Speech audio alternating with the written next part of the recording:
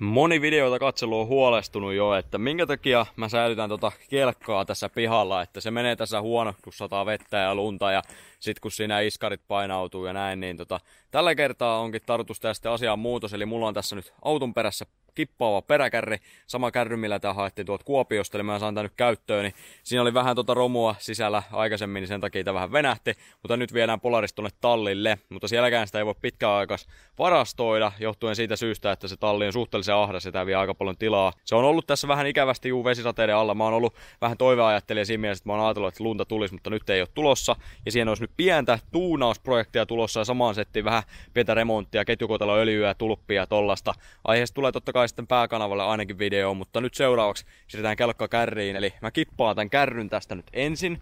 Tän oikeastaan ensin voisi avata sen kuomun tosta avaimella. Ja sen jälkeen täytyy täältä vaan aukosta kipit edestä. Eli mulla on tää tukevasti kärri autossa kiinni. Mulla on autosta toi käsijarru päällä ja vaihteesta parkkiasetuksella, niin se ei lähde sitä mihinkään. Ja sitten kun mä oon avannut kuomun, mä voin avaa noin klipsut. Sitten muistaakseni takalaita tai toistepäin. Se on aika hankala, että missä järjestyksen menee, mutta aika nopsaa sen sitten kuitenkin muistaa taas. Eli tota, kärri vaan kippiasentoon ja laitetaan kelkkaan siirtopyörät alle ja kelkka, kelkka käyntiin ja tulille ja sitten vaan kärrin kyyti. Kelkassa on nyt noin Skipexin siirtopyörät alla. Ne pääsee nyt tosi, tosi toimiin. Avasin kuomun alta polttoainehanan laiton tappokatkasijan kiinni. Katsotaan mitä käy. Laitetaan toi, onko se nyt, juu nyt se taitaa toimia.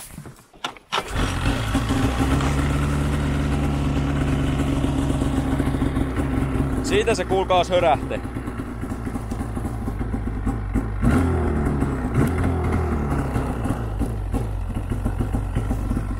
Antaa sen nyt käydä ihan hetken siinä ja sen jälkeen lähdetään kuskailemaan sitä.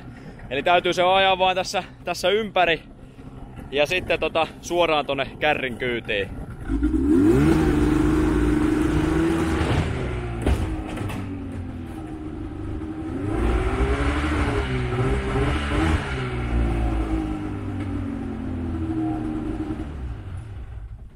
Mun pitikin napata noin pyörät tästä pois. Se oli ihan liian leveä niiden kanssa. Täältä vaan äkkiä, äkkiä nämä kipit kiinni.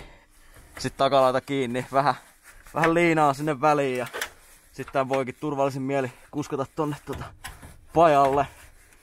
Kyllä tämmönen kippaava kärri, niin se on ihan voittamaton näissä kelkkahommissa. Ei tulisi kyllä muuta mitään, mutta siellä komistus olisi kuulkaas kyydissä. Eli seuraavan kerran varmaan kun näette pätkää tästä kelkasta, niin todennäköisesti se on aika lailla erinäköinen. Mutta aiheesta tulee sitten pääkanavalle lisää. Palataan jokin päivä asiaan. Kelkka on kyydissä ja nyt se lähtee ensimmäistä kertaa kohti tallia.